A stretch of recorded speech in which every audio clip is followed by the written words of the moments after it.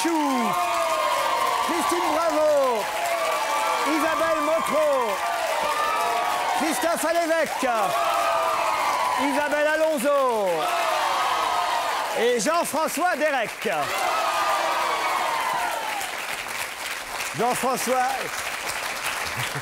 ayez le triomphe modeste, vous n'avez encore rien dit. Je préfère me faire applaudir avant. Vous avez raison. Oui, c'est plus sûr. Isabelle Alonso, montrez-moi votre stylo. Montrez le stylo à la caméra. Voilà le très joli stylo que m'a offert Isabelle Mergo pour que je signe des autographes. Il est non seulement muni d'une abeille, qui est l'anagramme d'Isabelle, mais d'un petit aimant au cas où je vais le mettre sur mon frigo. Ça prouve deux choses. D'abord qu'Isabelle Mergot vit toujours, on le dit aux téléspectateurs. Et ensuite qu'elle a toujours les mêmes goûts. Alors, euh, Et regardez, je crois qu'il est temps de passer à la photo du jour. Et cette photo, c'est celle de Nicolas Sarkozy, le ministre des Finances, qui hier, lors de la séance des questions au gouvernement, s'est verbalement accroché avec le socialiste Henri Emmanueli. Monsieur Emmanueli aurait traité Monsieur Sarkozy de guignol et Monsieur Sarkozy lui aurait répondu Fais gaffe à toi, fais gaffe.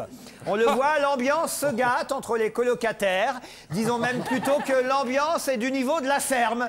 Il faut dire que Sarko en a marre de tout faire. Il a gardé les poulets pendant deux ans. Maintenant, on lui demande de récolter le blé. Et pendant ce temps-là, regardez Emmanueli. Il a toujours pas débroussaillé, lui. Alors franchement. Allez, une autre photo, celle du ministre de la Justice, Monsieur Dominique Perben, qui s'oppose fermement, a-t-il dit, à l'idée de Noël Mamère de célébrer un mariage gay. Le mariage homosexuel est contraire à la loi, a rappelé le garde des Sceaux dans le Figaro. Il a même précisé pour qu'un mariage existe, le sexe doit être reconnaissable et être différent du sexe du conjoint. Les deux garçons qui voulaient se marier à Bègle ont donc envoyé leurs photos à Monsieur Perben. Regardez. Bon, alors là, évidemment, on voit pas bien parce qu'on a été obligé de flouter à cette heure-là de diffusion. Mais franchement, il existe bien une différence entre les deux sexes, hein, de 2 ou 3, 4 cm à peu près, hein, je vous jure. On peut, on peut difficilement penser que le législateur, dans sa grande sagesse, avait dit, n'avait pas mis Imaginez. un homme et une femme pour, parce qu'il pensait que peut-être ce serait un homme et un homme. C'est évident que c'est un, c'est un, c'est un, Sous-entendu. Qui pensait qu'on pouvait épouser son beau-frère? Oh, Pierre mon frère. Et pourtant, Le débat est en tout cas relancé à cause de la provoque signée Noël Mamère. En gros, d'un côté, vous avez les jusques boutistes, de l'autre, les justes boutins. Et entre deux, alors entre deux, quand on n'est ni pour, ni contre, c'est le cas quand même de beaucoup de Français qui savent pas trop quoi penser là-dessus, bah, on est bi finalement. Et ça, c'est une question qu'on peut se poser. Est-ce que les bisexuels peuvent se demander en mariage tout Ça fait un mariage à quatre? Un mariage Si hermaphrodite. vous êtes si vous êtes, euh, je vais expliquer à Christine. Si vous êtes bisexuel, est-ce que vous pouvez vous auto-épouser? Bah, ça s'appelle un peu la masturbation, remarque. hein, c'est- Oui, mais devant monsieur le maire. Non T'as pas d'idée sur le sujet, hein Ben, si, si, euh, non, mais. là, on trouve un truc, parce quand que, même, bon, moi, je suis, rentrée- je suis j'ai regardé la ferme, par exemple. Oui. J'ai vu, par exemple, euh, un mec qui s'appelle Vincent McDoom Oui. et puis un mec qui s'appelle euh, Olmeta. Oui. Ils peuvent se marier, ces deux-là, parce que franchement, il y a une vraie distinction sexuelle entre les deux. tu vois pas qu'il le ramène sur le lit, le lui. Ah putain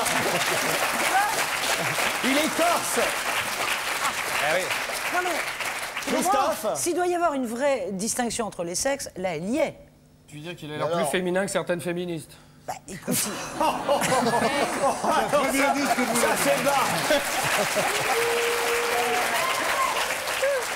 En tout cas, la publicité a pris de l'avance sur les politiques, puisqu'avant que Noël Mamère ne puisse marier deux hommes dans sa mairie, on les voit déjà faire de la publicité pour la lessive à la télévision. Je sais pas si vous avez vu cette pub. Non. Alors si, c'est une histoire incroyable. C'est un peu l'histoire du vizir qui veut être vizir à la place de la vizirette.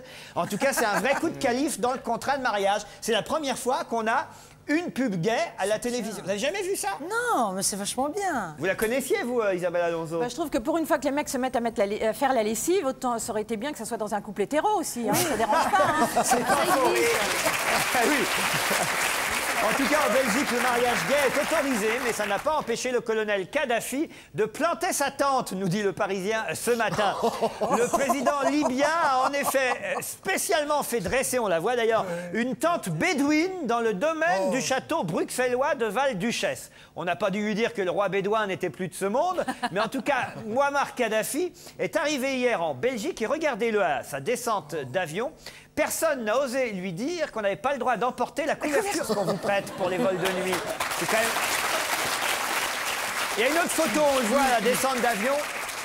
Voilà, là, il est en train de descendre de l'avion et derrière, ce sont ses gardes du corps. Et vous voyez, derrière Kadhafi, c'est que des filles, les gardes du corps. Enfin, garde du corps, c'est la Libye, comme disent ceux qui connaissent bien leur géographie. Kadhafi, il est Tripoli, pour être honnête. Une autre photo, celle de Jean-Marie Cavada, qui quitte la présidence de Radio France pour être tête de liste UDF aux européennes. Il aurait pu être tête de liste RTL à Europe, comme ça on aurait cité toutes les radios en même temps. Mais non, Jean-Marie Cavada, après une longue carrière dans l'audiovisuel, a décidé de se lancer dans la politique.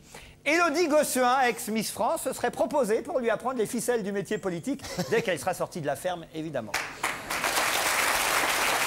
Alors, réaction Non, donc si je comprends bien, on prend un retraité qui est donc plus capable de faire de la radio pour faire de la politique. Ben, c'est sympa pour nous, ça. Donc c'est un retraité qui va s'occuper de nos affaires maintenant. Ah bah Oui, oui, voilà, voilà, voilà un truc, voilà un truc qu'on aurait, voilà un truc qu'on aurait pu louper, voilà. Oh, tu vois, ça va. Allez, la photo d'une publicité pour la RATP maintenant. Vous avez peut-être vu cette pub dans les journaux. Regardez les nouveaux bus. À mon avis, ils vont rouler moins bien, hein, comme ça. C'était bien la peine de leur faire des couloirs aux bus. Ça va plus à la RATP. Le service rendu aux usagers n'est plus le même qu'avant. Maintenant, les bus, faut les déballer soi-même. À moins que ce soit des bus pour SDF. Ah, on les laisse dans un carton pour pas les dépayser. Non, elle est marrante en fait, cette pub. Moi, je trouve très très drôle parce qu'il m'a fallu deux minutes de réflexion. Ah bon Pour- Non, non. Que- Ouais, mais en deux minutes, il donne. Hein. Ah ouais, ouais. non. Ah oui, c'est vrai, À pardon. fond. C'est bientôt, il n'y aura plus de mariage, même hétérosexuel. hein, c'est grave. Non, il m'a fallu deux minutes pour me rendre compte, et si certains téléspectateurs ne sont pas aussi rapides que moi, je leur dis, c'est évidemment pas une boîte dans laquelle on a mis le bus, mais c'est qu'on a construit sur le bus une sorte d'échafaudage en carton pour, pour, pour faire croire que c'est une boîte. Mais qu'est-ce que- l'autre, Pierre? Mais comment Y a tu pas vas de dire Tu bus. penses pas qu'on l'a apporté dans la boîte, le bus? Mais il n'y non, a mais c'est juste, il n'y a même bus pas de bus. sur place. Il n'y a même pas de bus à l'intérieur, c'est juste pour la pub. Il n'y a pas de bus à l'intérieur. Deux minutes Eh, Je suis encore plus con que je croyais. Pierre, la prochaine fois, prenez trois minutes. Une dernière photo, celle de l'écrivain Hubert Selby Jr., auteur du best-seller Last Exit to Brooklyn. Dans François, regardez, il a le droit à une demi-page pour annoncer sa disparition. Dans le journal La Croix, 10 lignes, dans la rubrique En bref, c'est là en haut. Dans l'Humanité, une demi-colonne, juste là en haut. Dans le journal 20 minutes, 10 lignes. Dans le Parisien, rien. Dans le Figaro, rien. Et dans Libération, alors là, la une carrément du journal, regardez, ainsi que les trois premières pages entières du journal Libération. Eh bien, pour tous ceux qui ne pas qu'il y avait un Hubert Selby senior, c'est bien d'apprendre que son fils est mort. Christine, vous connaissiez? Oui, je le connaissais, mais euh, c'est vrai que vu que la presse fait à peu près euh, toutes ses unes sur la télé-réalité, bah, je trouve ça sympa qu'on consacre une une à Ça, un c'est un bon argument. américain. oui, alors. c'est vrai. Jean-François? Et ben, en plus, il, est mort à 75 ans d'une tuberculose qu'il a attrapée pendant la Seconde Guerre mondiale. Comme quoi, la tuberculose, ça conserve. Hein. Oh, du temps, c'est un complot, quoi. Si, moi je que... Ah, Bon, c'est mieux. On termine par Angelina Jolie dans toute la presse aujourd'hui pour la sortie de son film Taking Lives, Destin violé, c'est le titre. Le plus impressionnant, regardez cette jolie actrice qui a joué Lara Croft, vous le savez, le plus impressionnant chez elle, ce sont ses lèvres. Là, parce que toute une question se pose à Hollywood. Est-ce qu'elle les a fait refaire, ses lèvres, ou est-ce qu'elle a embrassé une ruche? Franchement, il paraît que son rouge à lèvres, elle l'achète pas en tube, elle fait venir rouge à lèvres par camion citerne, c'est vous dire. Alors, c'est incroyable. C'est un physique à la mode, donc les filles qui ont ce physique-là ont du succès. Elle, si elle avait une petite bouche, elle n'aurait pas fait carrière. Ça Vous peut êtes très quand bien même gonflé vous aussi, ma chère Christine, parce que vous êtes la première quand on a reçu l'autre jour dans cette émission Jean-Hugues Anglade à lui avoir de demandé si justement elle s'était fait gonfler les lèvres. Je lui ai demandé s'il l'avait embrassé sur la bouche. Ouais. Et il m'a dit ni sur la bouche ni ailleurs, si vous vous souvenez bien. Exactement. Et j'ai demandé euh, ce qu'il pensait de sa bouche. J'ai pas demandé euh, si c'était fait. Oh, faux cul Et elle a une fausse bouche, mais vous êtes faux cul alors. Ça, alors vraiment.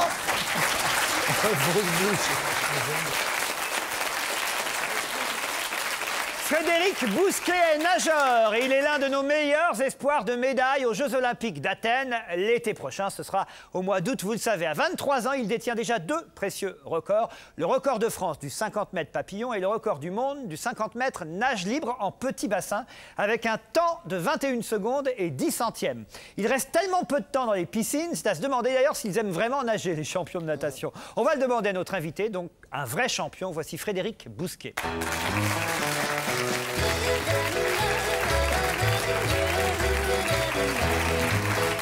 Bonsoir. Est-ce qu'on vous appelle l'américain dans le monde de la natation? Euh, un petit peu plus ces, ces jours-ci, ouais. Ces jours-ci, Ouais. parce que c'est vrai que vous êtes la plupart du temps aux États-Unis. Ouais, je rentre environ deux ou trois fois par an euh, en France et le reste du temps, je suis là-bas. Pourquoi vous vous marrez, Christine Parce qu'ils lui ont gaffé sa casquette. Ah oui Ça, Vous aviez mis une casquette hyper fashion, mais comme on n'a pas le droit de mettre de... C'est du la- camouflage, Ouais. Oui, c'est du camouflage. on a- Du coup, ça fait américain à deux balles, tu sais. Il paraît même que vous avez mis une casquette pour cacher votre couleur karaté. Exactement. Je sais tout. Pourquoi elle a foiré votre couleur Eh, demande à ma mère. hein. La C'est votre mère qui l'a fait, Eh votre ouais, couleur Le fluor de ça la piscine. Bon, en tout cas, j'étais en train de dire qu'effectivement, vous étiez la plupart du temps aux États-Unis, vous entraînez la plupart du temps euh, là-bas. Les médailles, c'est pour nous euh, la France, c'est tant mieux. Euh, mais euh, quand même, pourquoi avoir choisi euh, de vous exiler ainsi aux États-Unis? Pourquoi en fait le choix il a été, il a été assez difficile puisque j'ai mis deux ans avant de me décider et de partir. Euh, D'une part, je venais de passer mon baccalauréat et euh, j'avais aucune solution, aucune, euh, aucune promesse d'études et euh, de manière à pouvoir m'entraîner deux fois par jour puisqu'il y a des entraînements assez intensifs. Et d'autre part, Là-bas, c'est possible. Là-bas, c'est possible. Là-bas, on arrive et on a une conseillère d'éducation qui nous, qui nous donne les cours qu'on veut, aux horaires qu'on veut, avec les profs qu'on veut. Donc, en fait, on est les maîtres de, de, de l'université, on décide de, de nos horaires et de. Et vous dites aussi quelque chose qui m'a frappé, et ça j'ignorais, c'est que en France, les nageurs, on les entraîne essentiellement dans l'eau. Vous me direz que c'est logique pour des nageurs, mais vous dites que c'est pas suffisant. Aux États-Unis, on vous fait faire d'autres sports que euh, d'être dans une piscine, dans Oui. un bassin. Euh, aux États-Unis, on a la- le sentiment d'être athlète à part entière. En, fait. En France, on se restreint à ce qui se passe dans l'eau. Et euh, un petit peu plus ces, ces années, euh, les années qui viennent de passer, on commence à faire un peu de musculation. Mais tout ce qui est travail à sec, comme on fait euh, là-bas, les, euh, les dryland, comme ils appellent ça, à courir et à faire musculation pendant 4 heures le matin, ils connaissent pas ici. Et vous, au départ, vous, vous vouliez être footballeur. C'est exact, ouais. Et il paraît que vous dormiez avec votre ballon. Ah oui. C'est mignon. Alors, est-ce que maintenant vous dormez avec votre peau de requin Non, non, non. non, non, c'est pas ça, je l'ai terminé. Est-ce que non. je peux poser une question sur les peaux de requin? Oui. Comment vous faites pour faire pipi? Ah, ben, en fait, C'est une bonne question. En général, on attend le dernier moment, euh, juste avant de partir sur le, derrière les plots pour, pour, pour, euh, finir de mettre la combinaison. Mais c'est vrai que souvent, surtout les filles, en fait, c'est encore plus difficile pour les filles qui ont envie de faire pipi juste avant la course et euh, tu te retrouves derrière le plot avec une grosse envie. Et, Et, on euh, peut pas pisser dans la piscine, il y a la couleur qui remonte après, hein, c'est ça C'est Non. comme non. alors. Ah, ça, je peux te dire que c'est une légende. C'est hein. vrai Oh non Ne me dites pas que vous pissez à la piscine Christophe Bien sûr Pour qu'ils sachent ça. Ah, ben, j'y vais que pour ça, moi. Vous savez, je suis un technicien, je vais vous poser des questions techniques. Allez, Mais euh, Pierre, Alors, on vous t'a êtes- rien demandé, là. Hein. Si, justement. Eh ben, mes questions Le étaient tout à fait techniques, je te signale. Pierre est en âge de poser des questions. Je suis en âge. Et alors, le, le- vous êtes recordman du monde du 50 mètres sur des- dans des bassins de 25 mètres. C'est exact. Alors, où est-ce qu'on trouve des bassins de 25 mètres? Partout. C'est de 50 Tu prends mètres ou de 50 33 mètres. tu coupes en deux. 33 tu coupes en mètres. deux. Oula. Non, mais des bassins, des bassins de 25 Préhistoire, mètres, il y en a début, euh, assez au tout peu. début que la natation a été inventée, c'était peut-être en 33 mètres, mais là, Des, des- des bassins de 25 Il est en train de mètres. se foutre de vous, Pierre. Mais des bassins de 25 mètres, j'en ai jamais vu. Il entend pas bien, tu peux y aller. hein. des bassins de 25 mètres, il y en a, Que, que des, il y en que a des même grands nageurs s'entraînent dans des bassins de 25 mètres, c'est assez rare, non? En France, il y a plus, à la limite, il y a plus de bassins de 25 mètres puisque c'est des piscines couvertes Ah oui. et qui sont plus réduites au niveau euh, espace. Vous m'avez bien répondu à ma 25 première question, même si je passe pour un idiot. Bon, vous, vous chaussez du combien? Ouais, je suis pas un Yann Torp, je fais du 45 là. 45 seulement. Ah oui, Et c'est votre, et votre Ah, cœur, 45 votre cœur bat à quelle vitesse en temps normal? Le- La nuit, quand je dors au plus bas, il descend à 38 ou quelque chose comme ça. Ouais. Pierre est là pour poser les questions intelligentes. Moi, je suis là pour poser les questions cons. Parce que c'est pas la spéciali- ma spécialité, je dois dire, la natation. hein, pour ceux qui m'ont vu nager déjà. Oh, ne dis pas Ça ça. va. Christophe Non. T'as un style très personnel. Quand tu parles pas anglais en même temps, c'est très bien. À l'indienne, t'es très bon. À l'indienne, je suis pas mal. Alors moi, je fais pas la différence. Alors d'abord, là, vous venez euh, de réaliser euh, un record au relais 4 fois 100 mètres nage libre. Ça, je comprends. Médaille d'or. Euh, nage libre, c'est moi. C'est-à-dire qu'on fait n'importe quoi. Ok. La brasse, vous faites pas la brasse Ah non, pas de brasse. Pas de brasse. Pas de brasse, ça La c'est brasse, comme pour moi. ça, hein, la brasse. Hein. Ouais, c'est euh, Comme ça. Pourquoi c'est pas possible pour vous la brasse? Parce que je, je recule en brasse en fait. Ah ben demandez comme. Laurent, pareil. Tu vois Ah, je vous remercie. Isabelle Est-ce que vous êtes une bonne nageuse? Non, je suis pas une très bonne nageuse, mais il y a un truc, une déclaration que vous avez faite qui m'a beaucoup intéressée. Maintenant, il y a eu- vous avez une infime ceinture de graisse apparue récemment. Alors déjà, euh, ça m'étonne un Une peu bouée, parce que a priori, euh, je la vois pas tellement. Mais alors, vous auriez dit que euh, c'était pas mal parce que c'était un truc fétiche qui vous permettait de rester plus haut sur l'eau. Oui, la graisse par définition, ça fait Mais alors, faut flotter. être gros pour être bon. euh, en- Non. Les nageurs ont pas une musculature sèche comme les marathoniens, J'en connais ici qui doivent flotter facilement.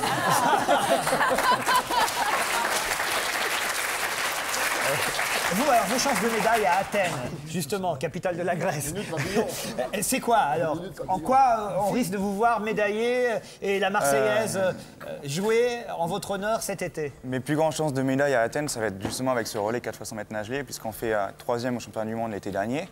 Donc c'était une belle performance qu'on essaye de- qu'on va essayer de recréer cette Donc année. là, ce sera avec trois copains à vous. Avec trois autres copains à moi. Après, au niveau individuel, euh, je viserai bien sûr le 50 mètres nage libre. Christine, ça vous impressionne? Non, j'avais- deux questions. Une question qui va paraître un peu con mais euh, vous, Oh. êtes, vous- vous êtes très grand dans ce sport. En fait, plus on est grand, plus on touche vite le bord. C'est exact. Ouais, ouais, c'est sûr. Mais alors, un mec qui ferait 50 mètres, il, il fait la planche? Oui, mais il sort, il n'y en a pas beaucoup. Alors là, il y en a, en a pas beaucoup. Bouvard, arrêtez très vite la natation. Oh oui, oui, oui. Il y a une chose que j'ai pas compris. Euh, quel est l'intérêt pour les Américains de vous filer une bourse alors que vous allez concourir pour les Parce que, en fait- Bonne question. Du moment que je m'entraîne là-bas, je vais nager et je vais représenter l'université Ah sur oui. le territoire américain. Il y a des championnats universitaires qui vont déterminer la meilleure université américaine sur le plan natation. Si je comprends bien, ce sont les Américains qui vous financent. Pour gagner des médailles chez nous, ce que je trouve quand même scandaleux Non, c'est pas que les Américains. Les Américains me financent mon, mon côté scolaire. Après, sur euh, le côté euh, vie tous les jours, ça dépend avec mon club de Clichy ou la Fédération Voilà, française de vous natation. parlez de votre me- club de clichés. Et moi, j'ai été absolument scandalisée de savoir que la Fédé, finalement, vous aidait pas du tout. Et que sans ce club de Clichy, eh bien, vous seriez pas le champion que vous C'est vrai, êtes. c'est vrai que le club de Clichy me, me fournit la, la- la grosse majorité de, de mon argent euh, sur l'année. C'est dingue. Et à ça s'ajoute la fédération donne quand même des primes aux résultats. On vous souhaite en tout cas d'avoir de nombreuses médailles avec l'équipe du relais 4 x 100 mètres, mais aussi en individuel. On regardera ça, on suivra ça à Athènes en espérant qu'il y ait de l'eau dans la piscine, que tout ça soit prévu et terminé d'ici au JO du mois d'août. Merci à vous. Merci. Frédéric Bousquet. S'il vous arrive parfois le soir d'avoir du mal à vous endormir, eh bien, si vous faites des cauchemars, par exemple, sur des questions existentielles du genre, euh, je sais pas, dans la télé-réalité, qu'est devenue Loata? Lo- Loana, Loata. J'ai même oublié son nom, la pauvre Loana. Eh bien, vous pouvez acheter ce livre, l'officiel de la télé-réalité. Pourquoi je l'appelle Loata? Colanta, t'as dû ah oui, ça doit être ça. Un mélange de Colanta. Oh, on s'embrouille avec. Hein On Allez, tiens, hop Ah non, vous ne pouvez pas faire ça. On va recevoir tout de suite un des auteurs de cet officiel de la télé-réalité, donc un livre rédigé par deux spécialistes de la télévision de qualité. Accueillons tout de suite Camille Tétard.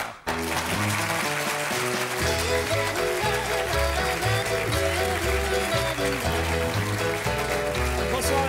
Bonsoir. C'est vrai qu'après tout, il n'y en avait jamais eu de bouquin qui faisait. C'est une sorte d'annuaire, on peut dire, un, un bottin de, de tous ceux dont on a parfois oublié, il faut bien dire, l'existence, ceux qu'on connaît encore aujourd'hui. Vous faites un point sur. euh, alors, sans photo, d'ailleurs, c'est ça qui est amusant, ce sont des caricatures euh, de chaque héros de la télé-réalité. Est-ce que parfois ça a été difficile de savoir ce qu'étaient devenus certains Absolument. C'est vrai? Oui, oui, oui, pour certains, enfin, euh, surtout pour ceux d'émissions qui sont un peu moins euh, médiatisées Chimène, ben, je me souviens pas d'elle, Chimène, c'était qui ça Ah Chimène non, mais si Chimène. euh, C'est qui, Chimène Chimène, c'est Popstar Chimène 2. Badi. euh, Ah, Chimène Badi on l'a accueillie Ah non, ici. mais si vous aviez mis Badi, alors... Ah oui, là, on voit en petit, je croyais que c'était une autre. Chimène Badi, elle, elle a réussi, Mais maintenant, elle n'a plus rien à voir avec la télé-réalité. Là, on est dans l'officiel de la télé-réalité. Donc, on reste. Alexandra, ça, je me souviens pas, Alexandra, alors c'est qui ça Alexandra, c'est la fiancée de, du Bachelor 1 de. La fiancée Olivier, du euh, Bachelor. Ah, elle doit être dans les gladiatrices, alors elle. Elle laisse là, je l'ai revue chez Ardisson, celle-là. Oui, oui. Elle revit. Eh ben, tranquille. Laisse-la être- Pierre, vous, ça vous a permis de vous mettre à jour Alors, d'abord, je me suis mis à jour. En plus, il y a une chose que j'ai adorée, mademoiselle Tétard, c'est le titre, c'est l'officiel. Au moins là, on sait qu'on n'est pas, que c'est là, c'est officiel. On est sûr, ça rigole pas. Et en, et en plus, On c'est sent le une très mec qui a bonne- lu que la couverture.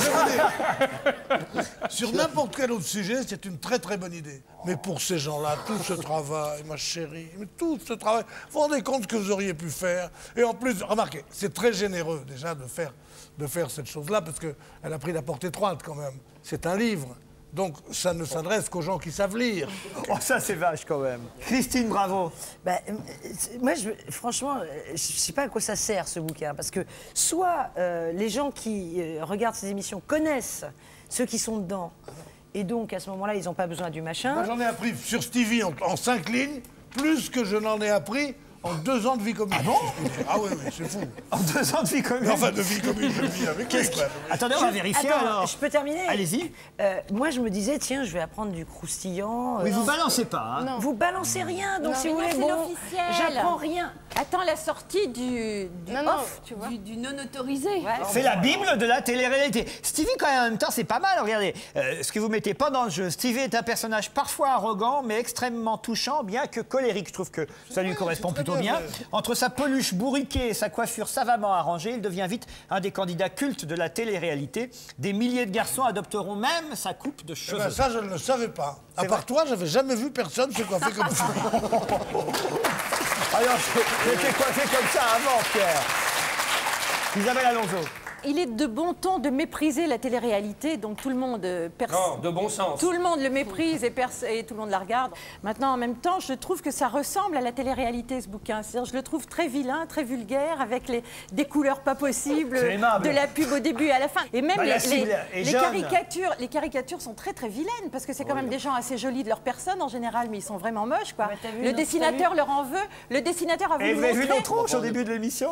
Oui, oui, absolument. Mais là, c'est quand même. euh, Enfin, je sais pas, je trouve ça. Ils je sont trouve pas- que le bouquin pas n'est pas plus joli. jolis que nous. Alors bon, bah, je suppose qu'il y a des gens que ça intéresse, quoi. Donc. euh, Vous avez des préférés, vous d'ailleurs? Disons ceux dont vous regrettez peut-être que finalement il n'ait pas fait une carrière après. Il y a ceux qu'on connaît, qui continuent, qui bossent. Tiens, on voit la, la fiche de Jean-Édouard qui est sur scène en ce moment avec euh, Marie Laforêt. Bon, alors lui, il continue à bosser. Loana, on ne sait pas trop exactement ce qu'elle va devenir. Bon, Stevie, on sait, il y en a quelques-uns. Aucun, je crois qu'en même temps, le public est euh, assez juste. Euh, ceux qui ne font pas grand-chose, euh, C'est que c'est qu'ils n'avaient pas grand-chose à faire, oui. Enfin, je pense. euh. Jean-François Derek. Écoutez, Camille, alors déjà, je suis emmerdé, je croyais que vous étiez un garçon. Ouais. Je pensais pas qu'une fille pouvait faire un truc aussi nul, mais enfin bon. Euh, non, mais elle est mignonne, regarde comme elle est mignonne. D'abord, il- Alors, elles sont deux, hein, il faut non, le dire. quatre, hein. quatre. Oui. Quatre même avec voilà. vos, les- vos les- complices n'ont pas osé venir, là. Non, ils ont eu peur. Ils vous ont lâché sur ce coup-là. J'ai fait un pari, Vas-y, perdu. Camille, Vas-y, Camille, regarde, regarde, regarde. Ah, les salauds, les traîtres, on va dire leur nom. Les pas courageux sont Stéphanie Carrère, François Cointe et Romain Et Tolissi. Voilà. Bravo à vous. En plus, arrêtez de l'embêter. Les gens qui font, qui font un historique de la, des, des grands assassins ou qui font l'histoire de la Gestapo, on dit pas vous êtes un fasciste ou vous êtes un assassin. Elle est très jolie et c'est une amie à moi. Voilà. C'est nouveau. Allez, mec.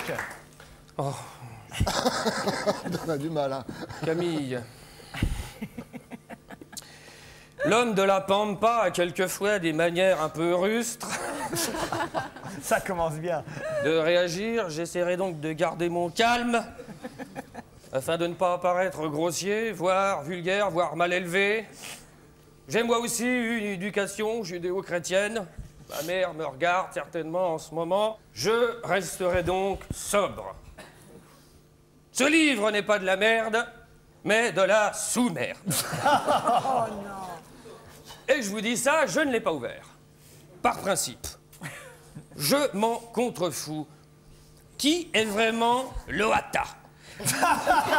Merci de me défendre, Christophe.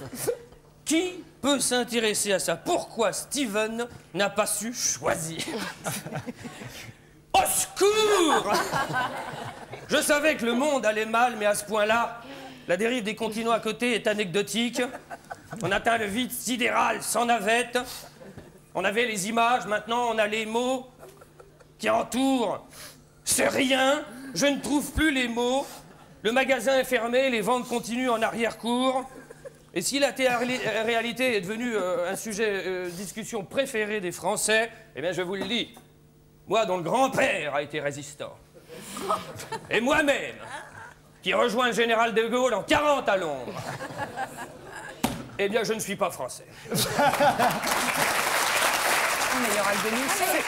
Vous me trouvez injuste, hein Non, Je vais vous défendre, moi, vous allez voir. Mais Mais moi, je allez-y, vais vous continuez. défendre aussi, parce que je trouve que finalement, votre démarche est légitime. On parle des produits dérivés, c'en est un. Quand vous dites, on me posait des questions sur la télé-réalité, mais c'est même pas la peine de dire ça, c'est que vous allez sûrement en vendre beaucoup, et je vous dis, tant mieux pour vous. Maintenant, que ça soit intéressant ou pas, c'est un autre débat, mais c'est bien de l'avoir fait parce que ça va marcher. Et ben, tant mieux. Et ça, c'est on a- ah, légitime. Diadems. Alors là, voilà que je. alors, non seulement je savais pas qu'elles avaient disparu, mais je savais pas qu'elles avaient existé. Alors, Elles n'ont pas encore disparu tout à fait. Ah, c'est ah, vrai? Diadems, euh, donc c'est Popstar 3. Euh, Diadems, euh, Popstar 3 était un duel entre les filles et les garçons. oui Les garçons ont gagné. C'était qui les garçons? Link Up. Link Up. Trois garçons. Ah oui, ils existent encore, Oui, hein. Mathieu, Otis et. Lionel. Ouais, ouais, voilà. ouais. Et euh, le, Bon, groupe bah je de vais filles, pisser, moi. le groupe de filles, c'est Diadems. À tout de suite Oh non, écoutez, on n'est pas dans la ferme. Les toilettes sont pas. Donc, elles ont perdu. Elles ont perdu, mais la magie de la télé fait qu'il temps y avait temps, quelques disques à vendre, alors on les a quand même lancés. Moi, je pense que ce livre va se vendre parce qu'il va intéresser évidemment tous ceux qui regardent toutes ces émissions et ils sont très nombreux parce que euh, il y a l'effet de curiosité et vous avez évidemment surfé sur cette curiosité-là. Voilà pourquoi ça s'appelle l'officiel de la télé-réalité. On vous remercie, Camille Tétard. Merci.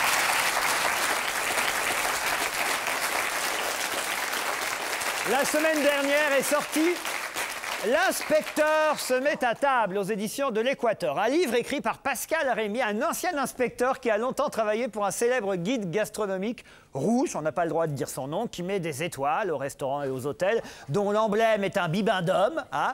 Si vous voyez pas de quoi je veux parler, alors là j'abandonne. En tout cas, dans cet ouvrage, Pascal Rémy dévoile l'envers du décor de ce guide mondialement connu, en n'hésitant pas parfois à saler l'addition, ce qui a coupé l'appétit de certains chez ce fameux guide, euh, disons Micheline, pour pas le citer. hein.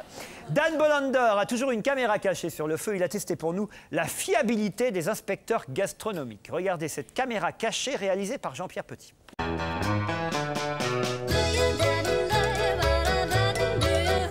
Ici Dan Bolander. J'ai testé la fiabilité des inspecteurs gastronomiques. Dites-moi, chef, vous m'offrez ce qu'il y a de meilleur et on verra pour votre étoile. Hein Pas de problème, monsieur. voilà. Je suis euh, Monsieur Berthet du Guide Rouge. Certains de mes collègues donc, sont venus plusieurs fois euh, déjeuner chez vous. Je ne vous cache pas que c'est plutôt bien parti pour la première étoile. C'est plutôt une bonne nouvelle. Je vous écoute, je vous écoute. D'accord. On peut s'arranger pour que je fasse avancer le dossier un peu plus rapidement, vous voyez. Bon, bah, Qu'est-ce qui vous permet de, de- de faire avancer un dossier? Par exemple, la semaine prochaine, je, je- je dois organiser une petite fête avec des amis. On, on est- on est une dizaine, on, on recherche un restaurant. Il est hors d'aucune question le fait de vous inviter autour d'une Non, mais on peut s'arranger discrètement. Ça restera évidemment entre nous. vous Ça voyez. ne se fait pas, je ne le fais pas. Sur un plan économique, obtenir une première étoile, c'est important. C'est voyez. 30% de chiffre d'affaires. Eh ben, c'est toujours 30% en plus pour vous. Tout à fait, mais pas de cette façon. Y a pas d'arrangement, y a pas d'arrangement, y a pas d'arrangement, y en a pas, y en a pas, y en a pas, non, non. Y a pas d'arrangement, y a pas d'arrangement. Je suis Monsieur Berthet euh, du Guide Rouge. Oui. Je sais que vous avez pour l'instant trois fourchettes. Oui. Ce qui est plutôt, plutôt pas mal hein, pour Oui. un restaurant. Bon, je ne vous cache pas que c'est plutôt positif pour la première étoile. Oui. Donc, je voulais vous demander s'il y avait une possibilité de, de s'arranger. Non, on ne peut pas s'arranger. Bon, il y a plusieurs manières. Vous pouvez sortir, s'il vous plaît. Et si vous nous invitez Non, je vous inviterai pas. Non, mais il y y a, Je, possibilité de. de- je de- n'invite personne. Je, je n'invite personne. C'est Vous, bien. vous êtes un escroc, monsieur. Monsieur, bonjour. Bonjour. Moi, ce que je vous propose, hein, et c'est c'est confidentiel, c'est que je peux faire avancer le dossier un peu plus rapidement. vous voyez, D'accord. parce que J'en ai parlé avec mes collègues. Voilà. Alors, s'il y avait une manière de pouvoir s'arranger. Oui. Ah, c'est pas une mauvaise idée. Mais moi, je vais vous dire une chose. Je sais dire merci, mais je sais pas dire s'il vous plaît. Alors, c'est-à-dire que quand j'aurai l'étoile, vous venez à 10, 12, 15, j'en ai rien à foutre. Il y a des principes chez moi. C'est-à-dire C'est-à-dire que si j'ai une étoile, je la mérite vraiment. Ah oui. Voyez-vous ce que je veux dire? Vous connaissez l'histo- l'histoire du bœuf et de la grenouille? Euh, oui, pas bien, pas bien. Quand elle a vu, quand elle a vu un bœuf comme ça, la grenouille, elle a dit Putain, je vais être aussi gros que la grenouille, que le bœuf. Oui. La grenouille, alors, elle s'est mise, elle s'est mise à se gonfler, se gonfler, se gonfler. Et cette conne, elle a éclaté. Oui. Voilà. Alors, une étoile, elle vient, c'est bien. Une étoile, elle vient pas, c'est bien aussi. Dan Bolander, l'inspecteur se met à table. Ce livre fait beaucoup parler parce que l'auteur, Pascal Rémy, est même actuellement en, en conciliation avec ses anciens employeurs qui n'ont pas du tout apprécié son livre. Il se met à table et il vient chez nous. Voici Pascal Rémy.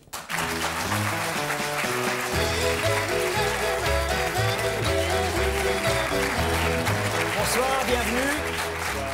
16 ans passés dans ce fameux guide, un peu plus rouge que votre couverture. Vous avez euh, choisi une couleur dérivée, on va dire. Oui, oui, une couleur un petit peu dans le ton. En fait, ce qu'on vous reproche, c'est d'avoir un petit peu craché dans la soupe, quoi. C'est-à-dire que pendant, euh, si c'est ça, pendant Oui. 16 ans, vous avez été inspecteur au guide. Uhum. Le guide Michelin, donc, a, a dit, a Ah, moment, pas de a- ça. Vous avez travaillé 16 ans chez nous, vous n'avez pas le droit de raconter ce qui se passe dans les coulisses. Oui, c'est leur point de vue, oui. Qu'est-ce qu'il y a de si grave alors dans ce bouquin que, que- que ça les fâche à ce point C'est le secret, c'est la, culture du, sec- du secret. Et donc, euh, bah, évidemment, ça gêne parce que je raconte des choses euh, plutôt euh, intéressantes. Le secret, il est là un petit peu pour cacher les défaillances. Alors, évidemment, euh, ça fait pas forcément plaisir tout de suite quand on met un petit peu le, le- le nez dedans. ou- Parmi les défaillances, le principal, si ce n'est reproche, vous dites ça, c'est un constat que vous faites, c'est que tous les restaurants ne sont pas visités chaque année, contrairement à ce que, évidemment, les lecteurs du guide pouvaient croire. On ne peut pas visiter 10 000 restaurants avec 5 inspecteurs. euh, Vous n'étiez que 5. on était, l'année dernière, on était 5, inspecteurs sur le terrain. oui. Ça veut dire qu'un restaurant est visité tous les combien? Pas les 3 étoiles, Ah non, les trois étoiles, ils sont visités plusieurs fois par an. Il faut, faut bien montrer qu'on est là. Faut bien montrer. Alors lesquels sont visités seulement une fois tous les 2 ou 3 ans? Euh, bah, Les autres, euh, il y en a euh, euh, 9000. En dessous d'une 900. étoile? Euh, Oui, en dessous d'une étoile. Même, même une étoile, ils ne sont pas visités tous les ans. Ah, c'est fou ça. Ouais. Ça, vous comprenez que ça les met en colère que vous racontiez ça. Bah, c'est la vérité. Alors, c'était pas, c'était pas le cas tout le temps, c'était pas le cas depuis le début. Euh, le problème, c'est que euh, on est venu là petit à petit. On est venu à cette, ça, ce manque alors, de ça. moyens. Parce qu'en fait, il n'est pas très méchant, ce bouquin. Il n'est pas méchant, même du tout. Euh, à part, bon, quand vous racontez que les mecs, ils, ils- c'est des vrais ratagasses, quoi, qui, qui, sur les notes de frais, tu sais, euh, ils garent leur bagnole, ça, ils garent leur bagnole dans le parking de l'hôtel et puis ils font la tournée des parkings pour ramasser les tickets pour se faire rembourser. Mais ça, ça, j'ai vu ça dans les- chez les journalistes, j'ai vu ça chez les grands reporters. Euh, en revanche, là où ça devient effectivement très gênant pour eux, c'est que moi, je me suis sentie arnaquée et que après avoir lu ça, eh ben, j'ai passé deux heures dans le guide à regarder et à, me- à me dire ah ben ils sont gonflés ceux-là. Arnaqués pourquoi? Bah Parce que je me suis dit s'ils sont que cinq, je me fais arnaquer tous les ans. J'achète tous les ans. Alors c'est pas la peine, autant que je l'achète une fois tous les cinq ans. Pierre J'ai vraiment dévoré votre livre, mais je vais faire un bon mot. Je suis resté sur ma faim. Je suis resté sur ma faim, pourquoi? Parce que je croyais que vous alliez dire des vrais secrets, à savoir ceux qui touchent, ceux qui ne touchent pas, euh, comment ça se passe, les, les, les vilainies de certains, de certains grands restaurateurs, comment certains petits, justement, n'ont pas, n'ont pas obéi à des consignes que leur a données. Et ça, ça manque beaucoup. Ce sera l'an prochain, une fois qu'il sera sûr qu'il sera vraiment viré. Attends, ça, ça- ça manque beaucoup. En revanche, ce qu'il y a de ce que vous dénoncez, c'est les cinq inspecteurs. Mais je crois, vous, vous passez sous silence tous ces gens qui étaient des inspecteurs et qui sont passés à la direction et qui maintenant font aussi du travail d'inspecteur et continuent à aller visiter les restaurants. Effectivement, les membres de direction vont également euh, faire des, repas, euh, mais ils ne font que des repas. Donc ils, prennent pas de ils- ben, ils prennent des notes, ils font des notes à la fin. Mais la- la- le travail de l'inspecteur, c'est pas uniquement d'aller manger au restaurant, c'est de visiter les établissements. Le matin, on arrive à 9h30 et on regarde un petit peu l'état dans lequel l'établlement se trouve. Et, et- Les et toilettes. voilà. Mais les toilettes, oui. euh, mais- et on n'y mange pas. Et on prend une décision. non, on- jamais. non, rarement. et donc on, on- on prend une décision parfois sans y avoir mangé. hein. On ne mange pas systématiquement. dans Vous, tous vous les- dites que chaque étoile, c'est 30% de plus de chiffre d'affaires C'est le Bah oui. chiffre pour un restaurant. que les, que les restaurateurs. C'est disent. énorme, ça. C'est absolument Et vous évoquez d'ailleurs le suicide de Bernard Loiseau. Oui. mais Vous je- pensez que vraiment c'est une conséquence directe euh, d'une visite d'un inspecteur Non, non, non, non, non, non. Il dit le contraire. Non, non, je dis le contraire, effectivement. Maintenant, comme on veut euh, vendre un maximum de guides et avoir une excellente réputation, euh, on ne veut pas euh, froisser les chefs. Donc, on les prévient, on les ménage. On dit attention, on a un petit problème avec votre maison, vous êtes un petit peu en perte de vitesse en ce moment. On a des- Reprenez-vous. On a, des- voilà, on a des lettres de, de lecteurs qui nous disent euh, bon, il faudrait peut-être un petit peu. Et alors, le- Bernard Loiseau, comme, comme d'autres, ont, été mis en garde. D'ailleurs, ils ont remercié par la suite le, le directeur, du, le directeur du guide pour euh, Vous avez dit une ces que- conseils. que, oui. je trouve très intéressante, c'est la culture du secret dans cette société. Pas seulement d'ailleurs dans sa branche alimentaire, c'est aussi dans sa branche pneumatique.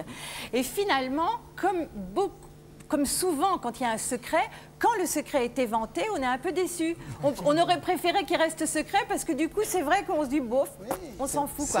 Et moi, c'est ça qui m'a un petit peu déçu. J'aurais préféré que le guide euh, euh, garde, garde son mystère et ses secrets non, parce que finalement, ce qu'on en apprend, ça m'a pas passionné. Tu veux continuer à te faire Il y a une chose qui m'a fait Ah, mais rire. moi, je l'ai jamais acheté personnellement. Il y a, il y a une chose qui m'a fait rire, c'est que vous dites, pour, pour justement pour garder le secret, on nous dit, soyez surtout ne vous, ne vous faites pas remarquer, arrivez le plus neutre possible. Alors plus personne n'est neutre maintenant.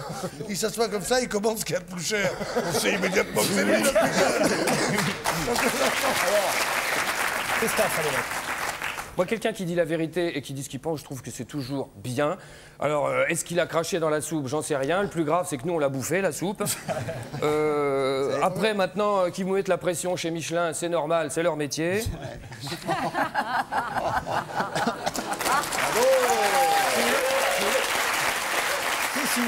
Mais par contre, une fois, j'ai fait, j'ai joué l'inspecteur à la, à la fin d'un repas avec un copain. On est tombé sur un restaurateur qui était tellement infect et on bouffait tellement mal qu'à la fin du repas, pour lui faire peur, on a dit, euh, enfin, on a sorti une carte comme ça. J'en fais, euh, hop, guide Michelin. Le mec s'est pas démonté, il a fait que ça. Ce con-là, il est passé le mois dernier, il est encore au congélateur. Christine, pour conclure, vous voulez dire quelque chose d'autre oui, le seul petit truc un peu inquiétant quand même, euh, encore, encore un, encore un, c'est que euh, quand vous racontez que vous avez fait je sais pas combien d'hôtels, restos dans la journée et que vous n'avez pas tout de suite pris les notes, le soir il se retrouve à l'hôtel et alors euh, panique à bord, il dit euh, les toilettes au fond c'était dans lequel, Euh, le- le- la dinde farcie elle était dégueulasse mais dans quelle assiette? Alors non seulement vous y allez pas tous les, mais en plus vous vous gourrez dans les appréciations. Allez, l'inspecteur se met à table et c'est signé Pascal Rémy. Ça fait beaucoup parler en ce moment. C'est aux éditions des Équateurs. Merci à vous. Le 13 avril dernier est sorti le tout nouvel album de Dave intitulé Dou Tam Tam. Pourquoi Dou Tam Tam? Parce que Dave a des origines camerounaises et personne ne le savait. Non, je déconne. En tout cas, ce disque comporte 13 chansons. Ce sont des reprises de standards des années 50 et 60. Une époque où Vanina n'était même pas né. Du 14 au 16 mai, en tout cas, il sera sur la scène de l'Olympia à Paris, son sixième Olympia, je crois, pour tester ensemble cet album, Dou Tam Tam. Accueillons l'interprète de Mon cœur est malade, Dansez maintenant, Vanina, ou encore du côté de chez Swan, Dave.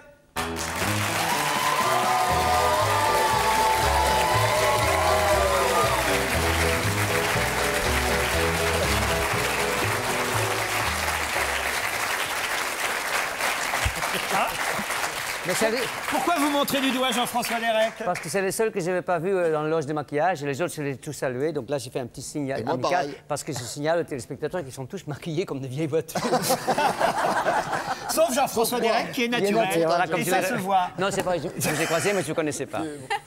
Alors justement, Dou Tam Tam, c'est euh, la chanson phare de cet album, c'est celle qu'on entend en tout cas en ce moment. Moi je trouve même c'est la meilleure. Alors franchement, j'a- j'adore cette chanson, elle est bien faite. Est-ce que c'est le chanteur qui choisit d'ailleurs le, le single, le premier extrait de l'album qui sort en radio? Là, ce qui est extraordinaire dans cette aventure, et c'en est vraiment une quand on sait que les chanteurs de ma, euh, ma génération sont plutôt virés et que moi, on vient de m'engager, ce qui est extraordinaire, que c'est le directeur de ma boîte de disques qui a fait chez lui un CDR, comme on dit, avec des chansons qu'il aime, en me demandant de les chanter, dont Dou Tam Tam. C'est vraiment une idée de lui. Parce que lui, c'est un gestionnaire, c'est pas un artistique. Et pourtant, il, il m'a fait. Je suis sa danseuse, en quelque sorte. Elle est très agréable en tout cas cette chanson, on a envie de l'entendre pendant l'été encore, parce qu'on n'est jamais qu'à deux mois de l'été. Et c'est une chanson, c'est vrai qu'on a envie d'entendre au bord de la... Écoutez, regardez un extrait de l'enregistrement de la chanson. Il y a comme un doux tam-tam, là dans mon cœur, quelqu'un joue du tam-tam à l'intérieur ça fait du ram-dam. Jusqu'à plus d'heure, mais plus rien ne m'entame. C'est le bonheur, il y a comme un doux tam-tam, là dans mon cœur, quelqu'un joue du tam-tam à l'intérieur et ça fait du ram-dam. Jusqu'à plus d'heure, côté Amsterdam ou bien d'ailleurs. Doubidou-dam-dam. Dou Tam Tam, c'est le titre de la chanson et de l'album. Tam Tam qui résonnera à l'Olympia les 14, 15, quel enchaînement 14, 15 et 16 mai prochain Olympia. J'ai dit euh, tout à l'heure en préambule que c'était votre sixième Olympia, c'est vrai? Ouais, euh, cinquième en vedette, parce que j'avais la première fois, c'était vedette américaine, comme on disait à l'époque. Danny Cordy. Danny Cordy, exactement. Alors, il y a toutes sortes de chansons sur cet album. hein. Euh, des slow, des chansons douces. Et des, des duos. des- et des- voilà, des chansons un peu plus rock, des chansons un peu plus pop. Enfin, c'est vraiment tous les styles. Qu'est-ce que vous en avez pensé? Christine, bravo. Oh la vache. Moi, j'ai bien aimé. Euh, je savais pas que Dou Tam Tam, c'était une chanson euh, de ton enfance. Ah oui, complètement, le Fleetwood, Mais, oui. mais pourquoi je la connais pas, moi Remarque, oui. Mais parce qu'on n'est pas grandi dans le même pays. C'est-à-dire que l'intéressant dans cet album, ce sont des, vraiment. Moi, j'appelle ça l'album de l'immaturité, parce que c'était vraiment l'album des chansons que j'aimais quand j'avais 14 ans. Et euh, c'est- ce sont des chansons qui, comme Vanina, d'ailleurs, pas connues en France, quoi. Mais il n'y a pas de compo personnel là-dedans, c'est Ah que non, des l'album reprises. d'avant, c'était des compos personnels. Mais t'as dit que c'était ton fiancé qui avait écrit les paroles. Mais si Qui Ton fiancé. Ah, quel drôle de mot. Vous pouvez pas dire Patrick Loiseau, comme Ouais, tout ouais. le monde Ah, mais ça, c'est ce côté provoque. euh, des Enfin, femmes vieillissantes et grossissantes. Et tac Ah, ça, il faut pas le chercher. hein. Ça, c'est pas très bien, ça. C'est extraordinaire. Ça, c'est pas très bien. Ça, c'est dégueulasse. Ça, mais c'est- tellement Ouais, vrai. c'est Ça, c'est pourri. Attends, Ça, c'est mais pas tu- très mais- bien, Non, parce mais que- alors là, t'étais gonflé, tu Non. fais ta coquette. Alors, tu, tu m'as attaqué, tu fais ta coquette partout, et l'homme de ma vie. Et comment tu l'appelles alors? Mon mec, mon Jules, mon mari euh, Ouais, j'ai du mal à trouver un mot, t'as raison. Et je trouve le mot fiancé très joli. Je, m'excuse, j'étais pas si vieille et si grosse que ça. C'est bien, il s'est rattrapé. Pierre Ça, je suis pas d'accord. Je suis pas d'accord parce que justement sur ce sujet-là, j'ai la plus vive admiration pour la façon sereine dont vous avez toujours annoncé vos goûts et dont vous dites en parlant de, de- de- du garçon qui écrit vos chansons que c'est que c'est lui, que c'est la, la meilleure chose qui vous soit arrivée dans la vie, Bah oui. c'est de, le- de le retenir. Vous avez des positions absolument courageuses, vous avez des positions viriles. a pas vues, non non, non, non, non, non. Et de la, de la façon dont vous il dites- pouvait pas le laisser de- passer. de la- de la façon dont vous dites que malgré tout cela, vous êtes contre l'adoption des enfants par les couples homosexuels, donc aussi contre le mariage, j'imagine, bien que vous soyez paxé. Oui, mais vous ça- dites des tas de choses formidables, et là, vous avez eu une réaction de tapette. Ouais. Ah,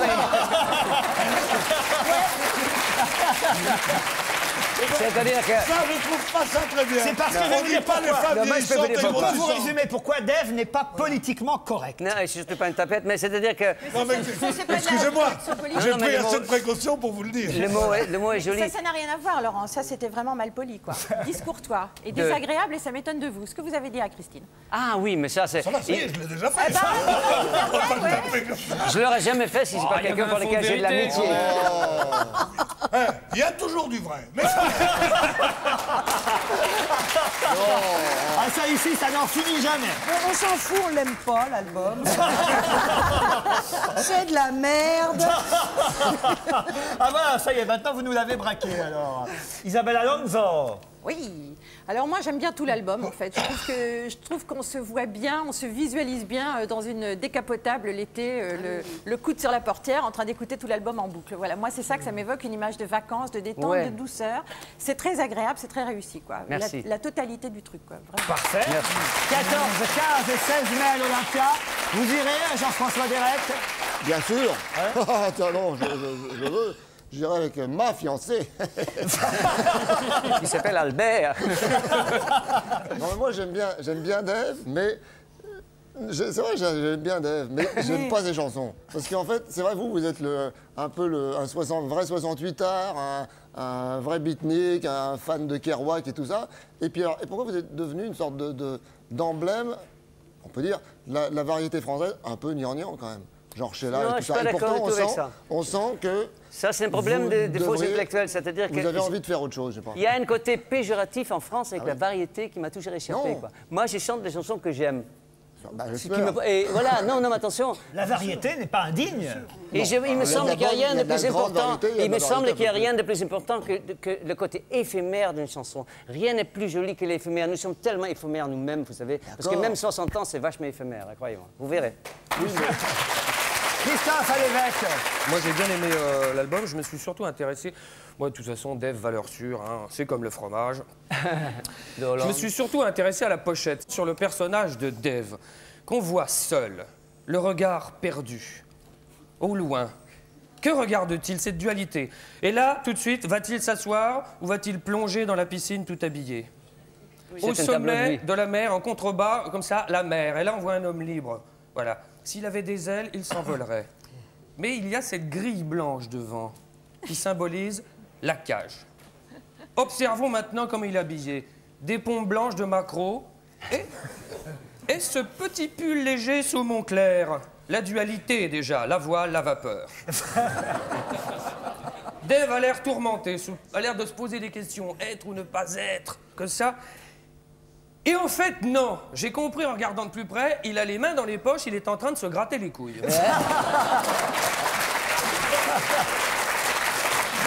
Et je voulais en venir. Alors, qui est vraiment Dave? Est-ce un tourmenté profond ou un léger superficiel? Quelqu'un qui a des morpions, peut-être.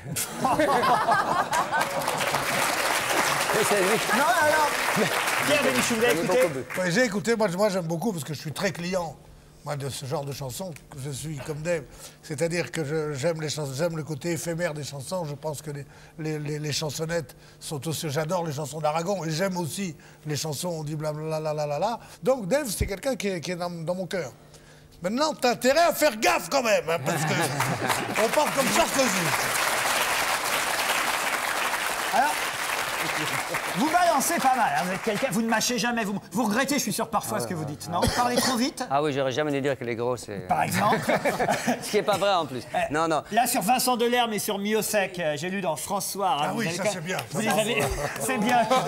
Oh bravo Parce qu'il a dit sur Delerme, après, après. Ah oui, le pauvre. Mais oui, il, Vincent a- il- il aime Delerme, pas avoir du malheur. Il vomit son texte, vous dites. Oui, ça me fait cette impression-là, mais en même temps, je trouve que c'est vachement bien écrit. écrit, et- Mais c'est un peu comme si on demande à Modiano de lire ses livres, quoi. On ne tient pas. Moi, j'aime les gens qui savent chanter. Mais ça ne m'empêche pas d'a- d'adorer Renaud, et Dieu sait que c'est plus possible vocalement. Mais c'est tellement riche.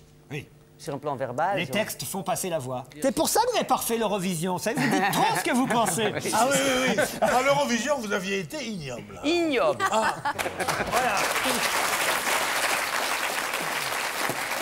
On vous souhaite un long succès avec cet album, D'où Tam Tam. Vous restez avec nous trois minutes pour le tac à finir.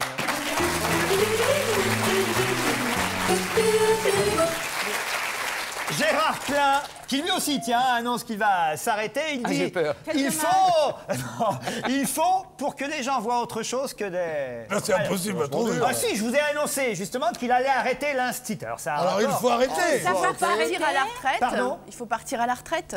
Non. Il faut, savoir partir, il faut savoir s'arrêter. Qu'est-ce qu'on dit dans ces cas-là? Il faut. Il faut partir. Non. Savoir décrocher. Non. Se retirer. Non. On dit souvent ça d'ailleurs. Quand quelqu'un s'en va, prend sa retraite parce qu'il est âgé, il dit il faut laisser. Sa place aux jeunes. place aux jeunes. Voilà, il faut laisser la place aux jeunes. Bravo Derek. C'est le début de la phrase. Il faut laisser la place aux jeunes pour que les gens voient autre chose que, Que des vieux. que Que des vieux. Alors plus que vieux. Cons. Des ringards. vieux. Alors il y a vieux, mais avant vieux, il y a autre chose. Des héros vieux. Des héros vieux. Bonne réponse de Jean-François Derek. Angelina Jolie, dont on a parlé en début d'émission, déclare En ce moment, je tourne avec. hein, je suis sûr qu'on va m'inventer. En ce Alors, moment, je tourne avec ma bouche. euh, Non, pas ma bouche, c'est un mec. C'est un- oui, c'est oui, c'est un mec. Je tourne. Ah, je Ah, ben, sais. Dis- alors, vas-y, DiCaprio, euh, un américain américain. Brad Pitt. Brad Ouais. Pitt, bonne réponse d'Isabelle, la connaisseuse. Alors, ensuite, je tourne avec Brad Pitt. liaison. On va m'inventer une histoire, une liaison. avec euh, sa femme ou avec. euh, non. Avec Ah, bah allez-y alors Avec avec. Jennifer Aniston. Alors, on va m'inventer une liaison avec. Avec le mari de Jennifer. Aniston. Bonne réponse de Christophe Alévèque. Parce que cette pauvre comédienne américaine est accusée sur tous les tournages de détourner les comédiens du plateau. Il paraît Martinez et les autres. Enfin, euh, ça c'est terrible. Nicolas Sarkozy déclare il n'y a pas de de son budget. Il y a un seul budget, celui de La France. De l'État. Oui, l'État, De la, la- France, la nation. La nation. Bonne réponse. Voilà. Jean-François. Alors, il n'y a pas Ah, de quoi faut trouver le début. Il faut trouver le début maintenant. De ministre maître de son budget? Je vous l'accorde, il n'y a pas de ministre propriétaire de son budget. Il y a un seul budget, celui de la nation. Voilà. Je vous ai connu meilleur sur le T'as qu'à finir, Dave. hein. Ça dépend de l'heure. On vous souhaite un bon Olympia, les 14, 15 et 16 mai. L'album s'appelle Dou Tam Tam. Merci d'être passé nous voir. À demain.